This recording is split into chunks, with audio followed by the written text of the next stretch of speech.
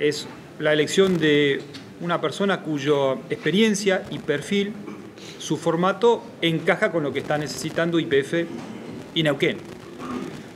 En estos tiempos y para la etapa que viene de IPF, Neuquén es la llave.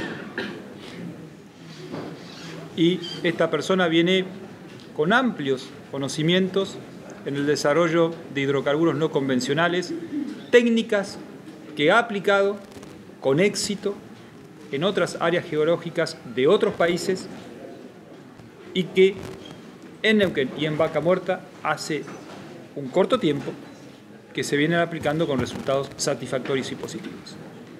Entonces, el perfil, el formato de esta persona entiendo que es muy positiva para el desarrollo de IPF en este fortalecimiento de la cuenca neuquina en Neuquén. Ha manifestado que IPF tiene áreas geológicas muy importantes por desarrollar, está haciendo mención obviamente que a Vaca Muerta, y además tiene su infraestructura industrial en condiciones para, generar, para ganar en competitividad generando inversión, exploración, producción y trabajo.